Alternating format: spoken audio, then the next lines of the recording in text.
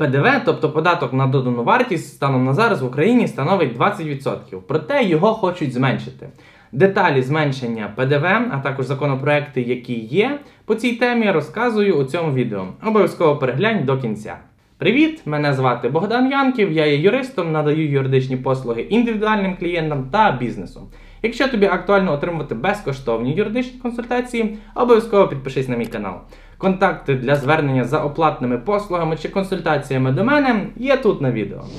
У Верховній Раді станом на зараз зареєстровано досить багато законопроєктів. Більшість з них насправді не заслуговують уваги, тому що, скоріш за все, не будуть прийняті. Саме про ті законопроекти, які скоріш за все не будуть прийняті, я відео навіть і не знімаю. Але закон про зменшення ПДВ, скоріш за все, приймуть, оскільки є вже аж два законопроекти, які пропонують різний підхід до зменшення ПДВ. Станом на зараз загальна ставка ПДВ становить в Україні 20%.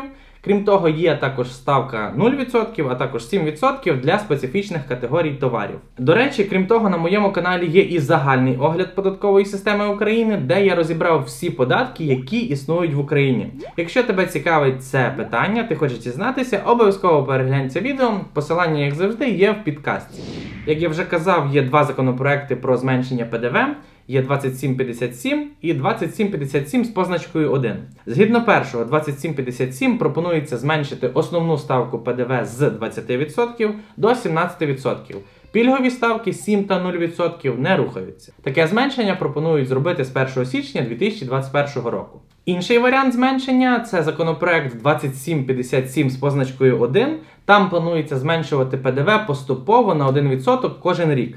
Таким чином, вже в 2025 році ПДВ в Україні має становити всього 15%, саме зараз ще раз нагадую 20%.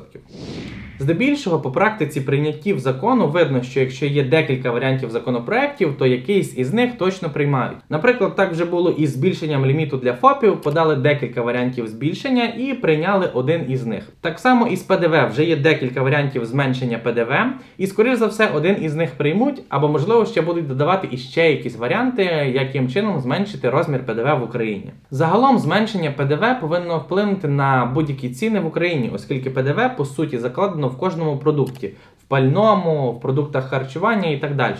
Зменшилась вартість на пальне, відповідно, дешевше довозити продукти харчування і вони будуть дешевші. Посилання на обидва законопроекти, як завжди, залишу в описі під відео. Обов'язково ознайомся та слідкуй за стадією їх прийняття, оскільки там є порядок їх руху. Сподіваюсь, тобі це було відео корисним і ти зміг структурувати свої знання щодо ПДВ та щодо можливості його зменшення. Якщо в тебе є якісь питання, обов'язково пиши їх в коментарі. Також обов'язково став цьому відео лайк. Підписуйся на мій канал, став дзвіночок, щоб не пропустити нові класні відео. Поділись цим відео та моїм каналом зі своїми друзями. А також обов'язково переглянь інші відео на моєму каналі, а там вже багато цікавого. Побачимось в наступному відео.